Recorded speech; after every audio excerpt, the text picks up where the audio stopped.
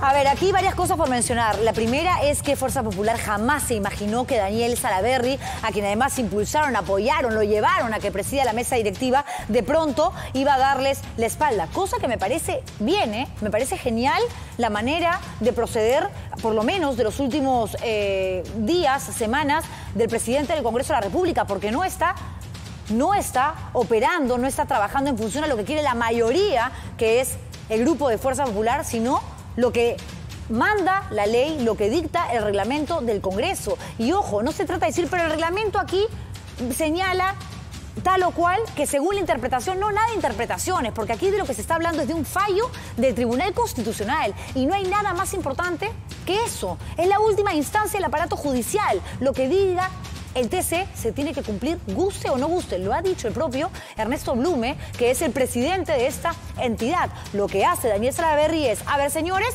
desde julio existe esta sentencia. ¿ok? La tenemos que ejecutar, que se formen las bancadas, yo le voy a autorizar a la Oficialía Mayor del Congreso para que ordene toda esta situación y le voy a pedir al órgano administrativo que se encargue de darle a estos congresistas que ya van a tener su grupo eh, la posibilidad de que puedan contar con ambientes, de ver cómo se van a manejar en el tema de la Junta de Portavoces, entre otras cosas. Y lo que vendría también el próximo año es que estos parlamentarios, en la medida de que sus bancadas tengan mucha gente, puedan tener participación muy activa en las comisiones del Congreso. Y yo creo que eso es lo que más le preocupa a Fuerza Popular, perder estos grupos de trabajo que son presididos, porque tienen la mayoría, y es lo justo también hay que decirlo, por integrantes de las filas del Fujimorismo. Es increíble lo que estamos viviendo ahora mismo, es atípico, al punto que Fuerza Popular, ¿para qué quería esta reunión, la de hoy? Este esta sesión del Consejo Directivo para pedir que se vote una cuestión previa y anular la conformación de nuevas bancadas. ¿Y qué hizo Salaberry? Ok, no hay más votación, se cierra la sesión del Consejo Directivo, váyanse. Esto después de los altercados con Luz Salgado, con Alejandra Aramayo, con la propia Úrsula Letona, que lo vamos a ver ahorita, les parece de manera ya desmenuzada. El momento en que se enfrenta a Luz Salgado y le dice, oiga, congresista, esto no es una reunión del partido. No estamos en el local partidario. Y Luz Salgado, después de eso, salió a declarar a la prensa y dijo cómo cambia, ¿no? La gente cuando tiene un poco de poder. Uy, uy. Congresista Salgado, ah, congresista Salgado, aquí no estamos en el local del partido y usted no actúa como secretaria general. Respete usted al presidente del Congreso. es el local del partido, es Respete la usted. consejo directivo. Respete usted. Respete usted. Respete usted. Aprenda a respetar. Respetos guardan respetos. Aprovechando el micro y lógico que está la prensa, me ha atribuido inclusive que yo no estoy en el partido, en la bancada, no estoy... Lo único que yo le solicitaba es que cumpliera con su obligación de poner el orden. El maltrato, señor, eh, yo lo recibo, en este caso, pensando en que usted lo hace para marcar cada vez más la distancia entre Fuerza Popular y usted? Bueno, en eso hay que decirlo, ¿eh? Luz Salgado podría tener bastante eh, razón. A ver, Salaver está haciendo las cosas bien, claro, pero el hacer las cosas bien justamente lo lleva a marcar cierta distancia, a mantenerse muy al margen de lo que pide, exige la mayoría de fuerza popular. Él sabe perfectamente que su comportamiento de los últimos tiempos le va a traer más problemas que otra cosa en el grupo al que todavía pertenece. Él solicitó una licencia en Fuerza Popular. En ningún momento renunció quizás esté esperando a que ya se pueda ejecutar esto de las bancadas que van a surgir para crear una propia o integrarse a alguna donde de repente exista algún tipo de similitud, coincidencia en la visión de país, en la ideología política que pueda tener el presidente del Congreso de la República. ¿Y qué pasó con Aramayo? La congresista Alejandra Aramayo estaba también participando en una intervención y de pronto cuando el micrófono se apaga dice gracioso, no sea gracioso. Y Salaberry, que estaba muy cerca a ella, lo logra escuchar.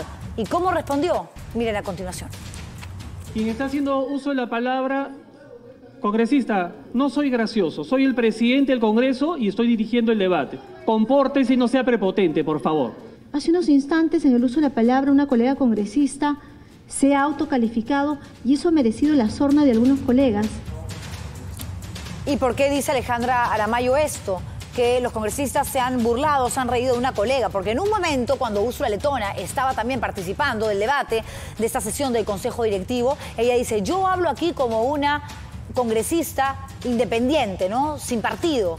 Y no, pues una cosa es que se haya alejado de Fuerza Popular y otra muy diferente que deje de defender todo lo que tiene que ver con Keiko Fujimori y compañía. Como diría Kenji, tampoco, tampoco. Sentencia no nos permite darle un cumplimiento inmediato, y lo estoy diciendo como congresista independiente. No tengo bancada. Entonces, ya pues, ponga orden, presidente. es que ni ella se lo cree, ¿no? Ella misma se ríe de lo que acaba de decir. En fin, cuando terminó todo esto, cuando Salaverry dijo, ok, cerramos la puerta, chau, esto se acabó, nada de que un debate más, que hay que analizar, no.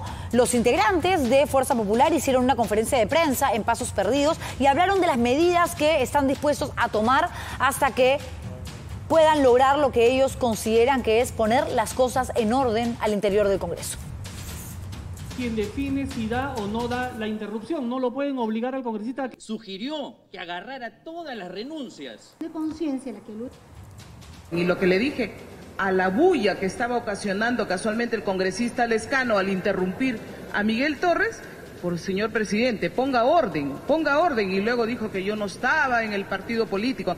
No, pues, eso no son los juegos limpios que se hacen en política. El presidente del Congreso se está arrogando una función interpretativa, deliberativa y resolutiva que no le corresponde. Censura, por ejemplo, se tienen que evalúan la censura. No le puedo descartar nada. Lo que nosotros estamos haciendo ahora es una evaluación de la siguiente paso que tenemos que dar. Pero acá lo que ha sucedido es algo totalmente irregular. Bueno, eso se tendrá que definir. Lo que hemos escuchado es al propio presidente del Tribunal Constitucional, repito, diciendo que hay un fallo y que se tiene que acatar sí o sí, que el Congreso no puede, eh, digamos, salir a, a protestar, a manifestar que no les gusta, que de ninguna manera van a aceptar esto que ya es una medida lista para ser ejecutada.